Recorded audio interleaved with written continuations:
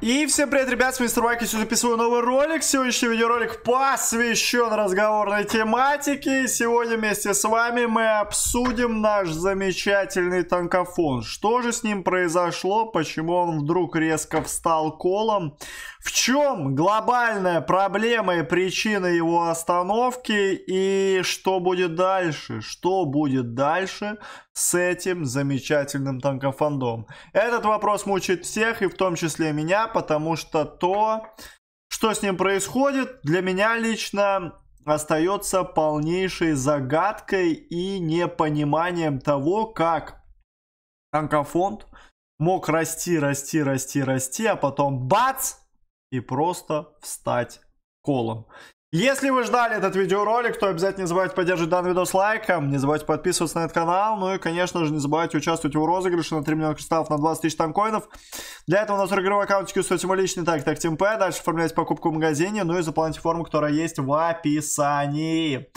Что же касаемо нашего танка Фонда, то уже на протяжении трех дней он не может набрать 1 миллион 1 миллион в течение трех дней не может набраться в танкофонде. То есть, грубо, по 300 тысяч растет наш танкофон в день. И это очень сильно расстраивает. Да, это значит то, что этот танкофонд может даже, даже нет забрать кризиса с броненосцем. Даже я уже не говорю о каких-то других наградах. То есть, по сути он настолько сильно встал на одном месте, что вся его скорость, которая была изначально, все мои ожидания и все мои мысли по нему, просто вот так вот бах, и в миг растворились, и в миг просто пропали, можно так сказать, с радаров.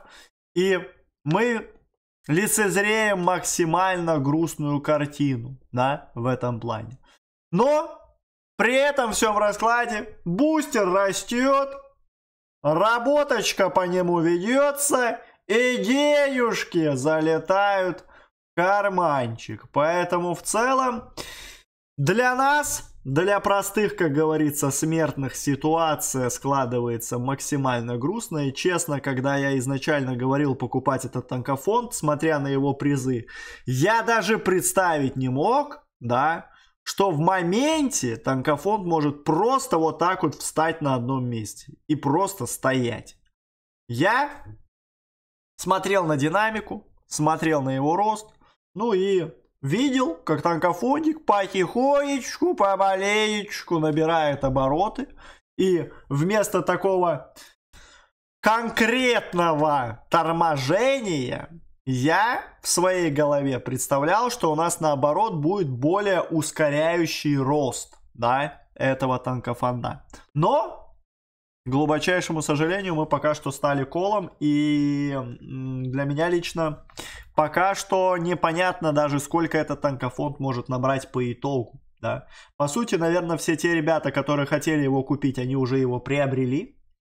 Они уже сделали вклад в этот танкофонд. Я до сих пор считаю, что вложение в этот танкофонд, если он наберет, а он 100% наберет и 16, и 17, может быть даже и 18, 19 миллионов. Это уже стопроцентная окупалова танкофонда как минимум.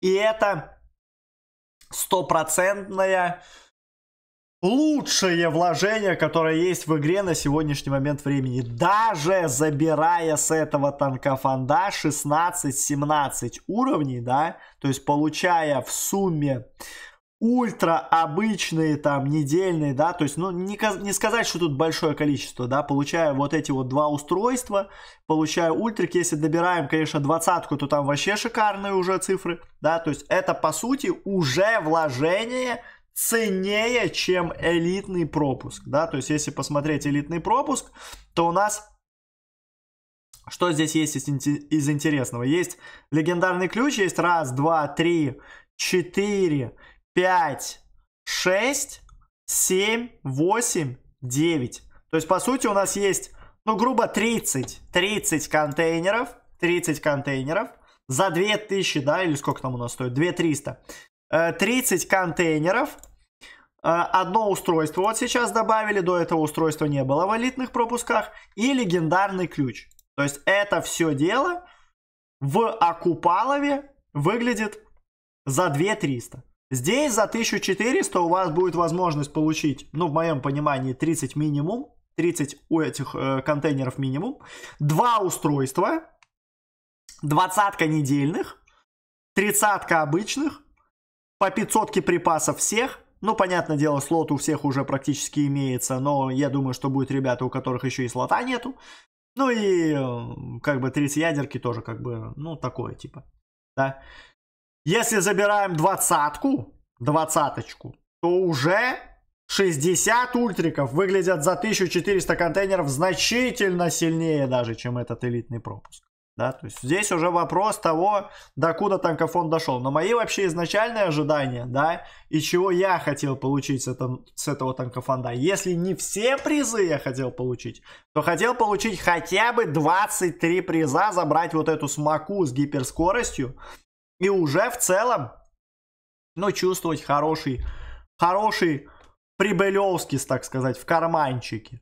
Но по итогу пока что все, что мы видим, выглядит максимально грустно, и в этом плане остается только надеяться на то, что у тебя будет возможность подлутать дополнительные танкоины с лотереи, да, ну и на то, что танкофонд хотя бы наберет минимальные позитивные значения, чтобы окупить этот танкофонд. Иначе в очередной раз танкофонд станет провальным. Даже такой танкофонд даже такой танкофонд станет провальным. Это жестко. Честно, это жестко. Вот то, что такой танкофонд не будет набирать, я, честно, ну ни в каком виде это увидеть, спрогнозировать точно не мог. Ну, потому что, ну, здесь уже есть все в этом танкофонде. Все! Просто все для того, чтобы он набирал. И он стоит на одном месте. И это максимально, максимально грустно. Пишите, что вы думаете по поводу танка Фанда. Какие у вас мысли? Сколько он все-таки по итогу наберет? Докуда мы дойдем в этом заветном танкофонде? Есть ли у нас еще шанс дать врывалову в этот танкофонд и полететь еще в нем?